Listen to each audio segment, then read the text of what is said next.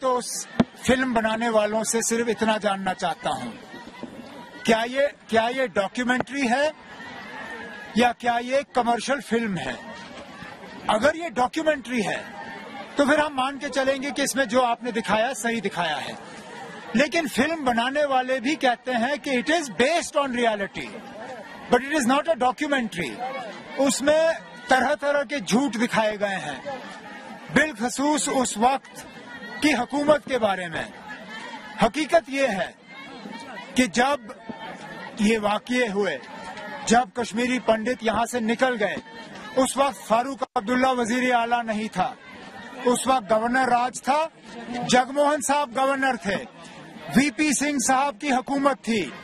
और वीपी सिंह की हुकूमत के पीछे कौन खड़ा था? बीजेपी। बीजेपी की हुकूमत थी मरकज में। जब कश्मीरी पंडित यहाँ से चले गए। तो ये क्यों नहीं दिखाते हो आप पिक्चर में? फारूक अब्दुल्ला को तो आप दिखाते हो। लेकिन बीजेपी वीपी सिंह के पीछे बीजेपी को क्यों नहीं दिखाते हो? वीपी सिंह की हुकूमत थी।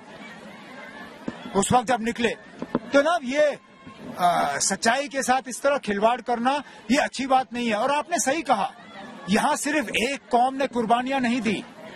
अगर कश्मीरी पंडित मरे हैं हमें उसका बेहद अफसोस है। नहीं होना चाहिए था। लेकिन क्या कश्मीरी मुसलमान नहीं मरे? क्या कश्मीरी सरदार नहीं मरे?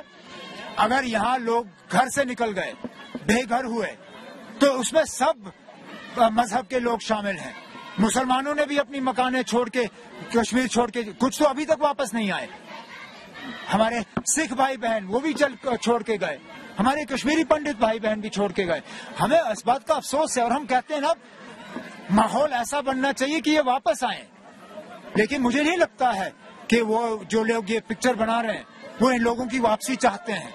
शायद इन इस पिक्चर से वो चाहते हैं कि ये लोग हमेशा के लिए बाहर रहें। लेकिन हमारी जब तक नेशनल कॉन्फ्रेंस है हम आ, उस शेर कश्मीर के आ, आ, के सिपाही हैं वर्कर हैं जिन्होंने हमें ये नारा दिया शेर कश्मीर का क्या इर्शाद हिंदू मुस्लिम सिख इतिहाद।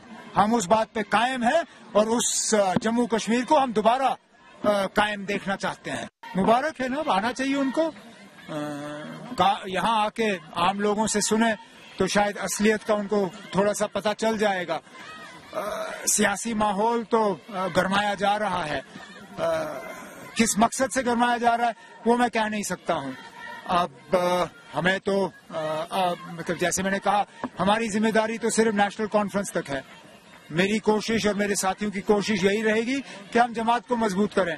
बाकी वज़ीर आज़म साहब यहाँ आके क्या कहेंगे, क्या करेंगे या अमित शाह साहब क्या करेंगे